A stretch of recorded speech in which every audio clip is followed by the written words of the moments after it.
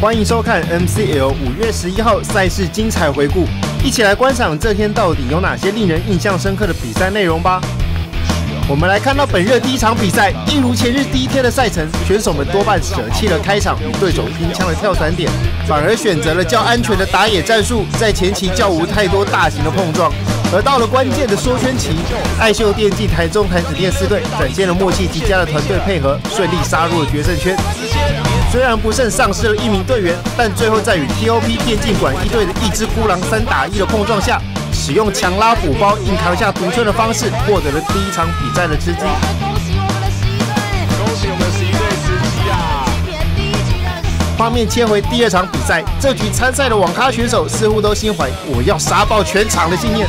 开场光 P 神就出现了三组人马的大战，另外平原上的大型团战杀出个吉普车程咬金，可让玩家们看了大呼过瘾。七队杀出个程咬金，开车经过还碾死人。最后，爱秀电竞台中弹子店二队在拥有较佳的独圈优势的情况下，化解掉了对方 M 二四的压力，并打赢了最终的一波团战，拿下吃鸡。我们来听听看他们当下的心情吧。最后一圈防区有一只 M 二四，有一只大狙在那边。是，他们 M 二四有对你们造成压力吗？对对，他们这个他们都压力蛮大，就是幸好后面全是说都在比较我们这边。最后到了本日第三场比赛，开场虽然出现了全员空降劈成的天女散花景象，但队伍们却全在降落前选择拉掉，因此并未发生太多人员伤亡。